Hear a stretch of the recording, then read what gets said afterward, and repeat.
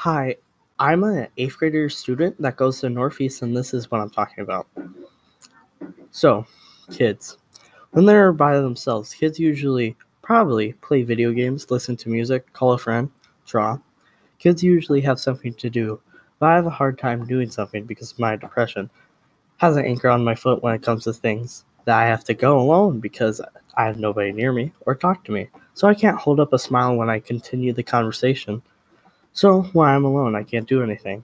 But I can't even get the help I need because just from my experiences, I can't trust every adult. When I did tell them, oh, that's because you didn't get enough sleep. You just haven't had a good day. Oh, let me guess. It's everything else except the real problem. So I'm supposed to think it's something else, but it's not. I'm trying to act like a fucking edgy teenager, like I hate adults, but it's actually their fault. So when you come up to me, if you're an adult, and say, I had it worse when your age, I just think to myself, who is this self centered piece of crap? And it's adults, it's their fault. It's their fault for everything. And guess what we have to say?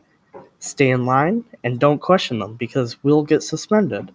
So when we talk to adults, they'll have their opinion to everything, and we can't change it because it's their opinion.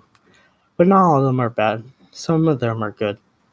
And you better keep them in your heart because sometimes you can be get a better one. So all I'm saying is how can we do stuff when adults won't let us do what we want?